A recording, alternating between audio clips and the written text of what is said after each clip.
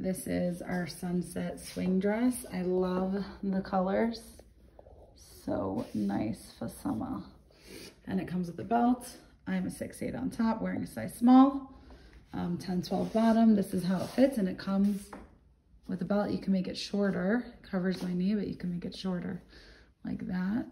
Um, wearing a skirt under, or you can like twist it with a rubber band on the inside and it could look really cool too.